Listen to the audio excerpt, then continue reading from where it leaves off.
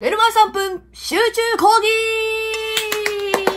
はい。ということで、始まりました。寝る前3分集中講義、かきたまチャンネルのあがつまゆうじんです。本日、10月23日、水曜日、皆さんいかがお過ごしですか？今日は、じゃがりこの日ですね。あの、昨日、あの、激辛じゃがりこを食べるというですね、動画をですね、昨日の午後6時ぐらいに上げたので、まだ見てない方はぜひ見ていただきたいんですけれども、昨日ね、動画内でも言ってましたけども、今日、10月23日がじゃがりこの日らしいです。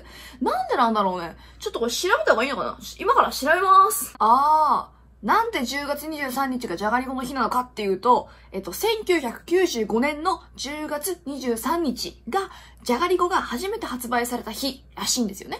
で、それが、じゃがりこの日ということで制定したよっていうことでね、今日がじゃがりこの日ということですよ。あー、面白いな。このじゃがりこのね、くしゃべですよ。めっちゃくしゃべる。カルビーのあのホームページがあるんですけど、じゃがりこの。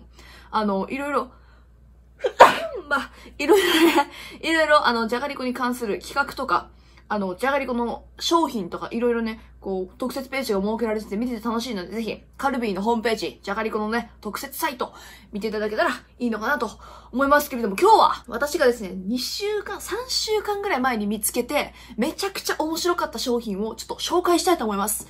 サムネにももう出ていたと思うんですけれども、これなんですよ。どこの会社が出してるのかな？株式会社テンヨーっていう会社が出してる、ノーブロック、永久に遊べるパズル。で、これ、まあ、レベル1とレベル2があって、最大でレベル5まであります。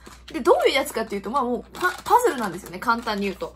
まあ、どういうやつかっていうと、これレベル1ですね。えっと、800円くらいで買えるかな。アマゾンだとね、かなり安く買えるので、まあ私もアマゾンで買ったんでね、ぜひ皆様買ってほしいんですけど、こうね、ジップロック的な感じのね、なってて、開けると、あの、箱、クリアケースに入ってて、これクリアケースがですね、こう、パカッと開くんですよね。そしたらこの中をですね、全部このちっちゃい、これピースです。ピース、ピース。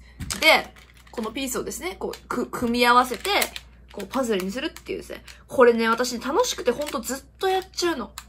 テスト前とかもね、やっちゃってた、正直。ほら。こうやってね、うまくやらないと、こう、このパーツだけで今余ったりとかしたんですけど、こうやってね、うまくこう試行錯誤していきながら、パズルをやるっていう。ただのパズルじゃんって思うじゃないですか。なんとこれ、この完成する図形の通り通りっていうの、組み合わせが、このレベル1、これレベル一番簡単で、これ一番簡単なレベル1、テトロミノっていうやつなんだけど、このレベル1だけで、なんと、783通りあるんです。で、じゃあこっちのレベル2、ペンタミノ。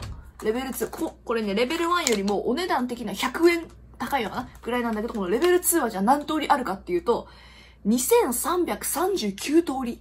めっちゃ多いじゃん。だから永久に遊べるパズルなんだよね。これが本当に楽しくて、私ね、これ東急ハンズで見かけたんですよ。で、その時東急ハンズでこの試供品があって、レベル1からレベル5まで全部一通り遊んだんだけど、このね、レベル1でね、30分ぐらい苦戦して、やっと一通りとかだったの。だから、簡単そうに見えて、実は難しい。で、しかも、パターンも多いから、ごくね、やってて楽しかった。ただね、まあ、今んとこないけど、心配なのは、その、これ783通りも完成パターンがあるわけ。だから、その、あれ、このパターン前も見たなっていう 完成のこのシーンがさ、出てくるんじゃないかな、今後と思って心配なんですよ。で、なんとこれ、さらにこの中に紙入ってるじゃないですか。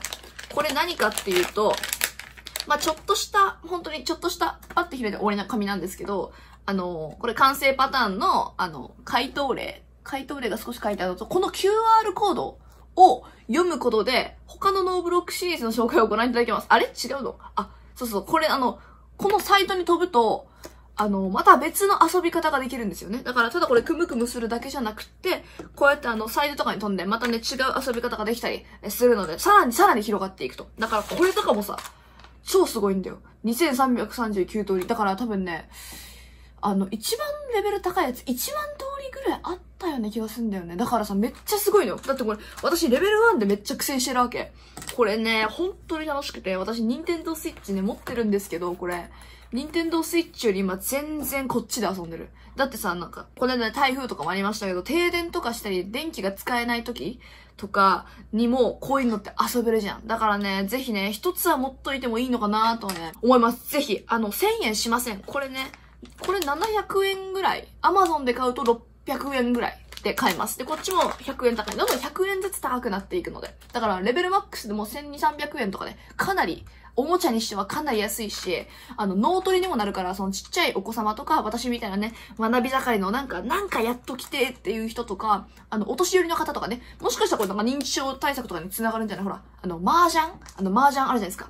ボードゲーム。ボードゲームっていうかね、麻雀もあれ認知症対策につながるって言われてるんで、これもね、ぜひいいんじゃないかなと思います。ということで、えー、長々と話してしまいましたけども、今日の寝る間3分ショートホームルームじゃなくて、なんでここで間違えた？本日の寝る間3分集中講義はここまでかきたまチャンネルのあがつまゆうしんでした。